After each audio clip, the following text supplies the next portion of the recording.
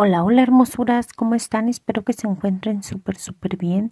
De antemano les doy las gracias por acompañarme en un videíto más, por dejarme su pulgar arriba, su comentario y también le doy la más cordial bienvenida a todos los nuevos y nuevas suscriptoras que se van sumando a este su canal, su espacio de Claudia González, donde encontrarán de todo un poco si son nuevos o nuevas por aquí.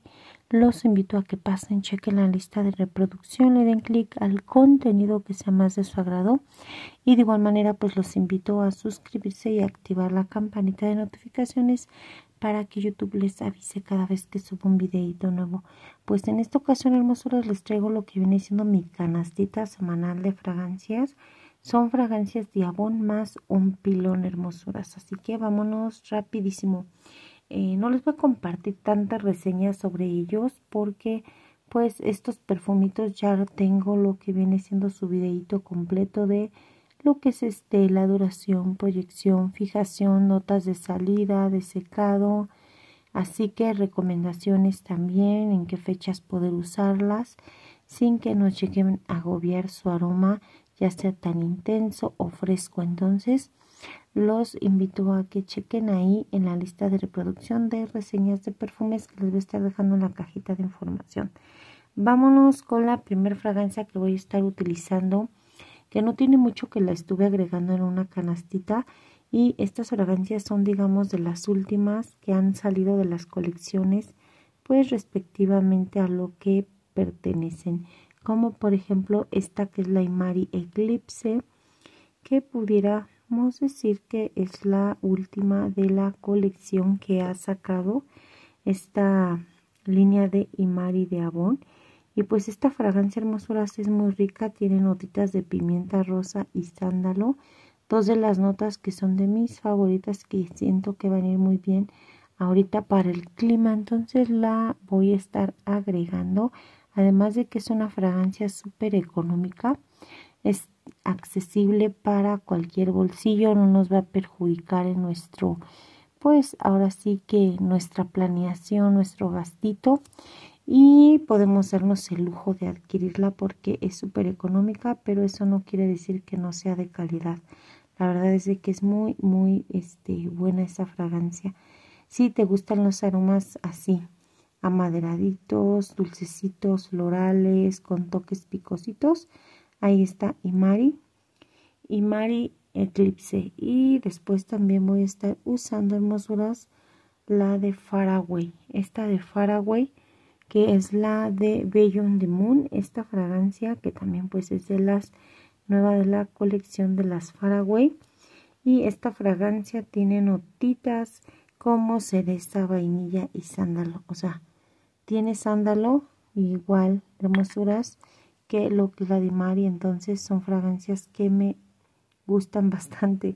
También tenemos el de la línea de Victoria Volkova, que son las de Attraction, pero esta es la número uno, la que viene en color naranja. Si recuerdan, estas fragancias pues vienen con la tendencia entre unisex, digámoslo así.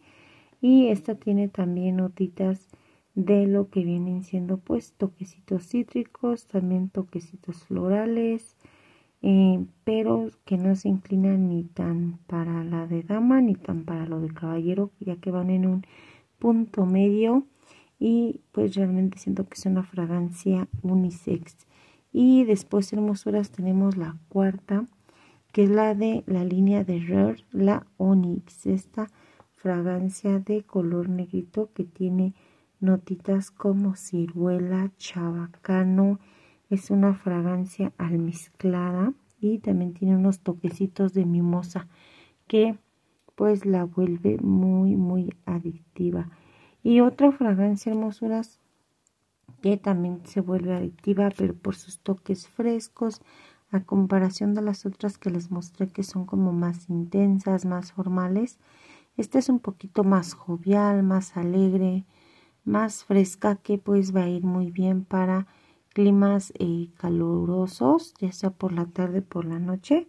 Y me refiero a la de Sensus del el catálogo, pues precisamente también de Avon, que viene, está en este diseñito hermosuras de color azulito que pareciera que es la de caballero, pero no, realmente no hermosuras. Es la fragancia que tiene esas notitas florales, verdes, cosas y es la un Limited, un Limited esta fragancia. Y después tenemos ya para terminar el piloncito que es la de la línea de Cardi, una línea que pues por acá no es tan conocida, pero pues es un agua de perfume y es la de Carolina Herrera. Esta fragancia que pues tiene un toque ahí muy adictivo y que tiene lo que vienen siendo notitas de jazmín, de albaricoque. Es una fragancia almizclada, muy almizclada. Así que este tipo de aromitas, como la de Carolina Herrera, la de Victoria Volkova, las de Imari, sí recomiendo que las perciban antes de adquirirlas porque no son aptas para cualquier olfato y no también nos va este, a percibir el aroma de igual manera si tu pH es alcalino o si es neutral, o sea, realmente también depende mucho, mucho nuestro pH hermosuras. Y pues eso sería todo, estas son mis fragancias en esta ocasión que voy a estar compartiendo.